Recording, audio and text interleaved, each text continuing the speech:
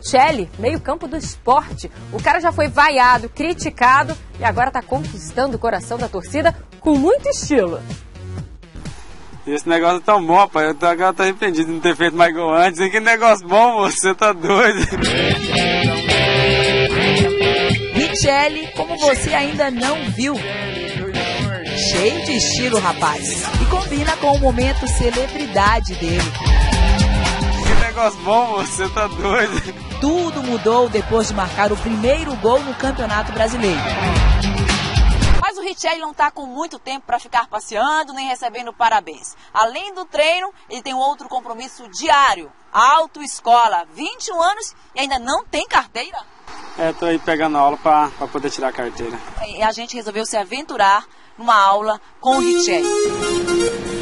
A saída foi tranquila. Richelli está mais seguro que nunca. Agora já saiu o gol, ficou tudo mais fácil. O difícil era sair o gol, saiu o gol. Agora nós desenrola tudo. É, o gol não saiu de primeira. Foram muitas tentativas durante o campeonato. Zoar com os colegas é com ele mesmo. E atenção para a sessão apelidos. O Gilberto né, chamou de pombo branco lá, fizemos até dancinha pra ele lá do pombo lá e ele não gostou muito não, rapaz. O zagueiro Diego Ivo não escapou. Balotelli, o Diego Ivo, sabe? O, o Ivo, o zagueiro, aí nós chamamos ele de Balotelli, ele da Itália lá, um negãozão lá, e ele não gostou muito não de chamar de Balotelli. Ele não gostou? Não sei, que ele achou que ele é mais bonito, deve achar que ele é mais bonito que o outro negãozão lá, né? E o Toby também é alvo dessa zoação. Sinceramente, você já viu, você não parece com aquele latrel, o negão lá das branquelas? Você já viu o filme? Branquelas?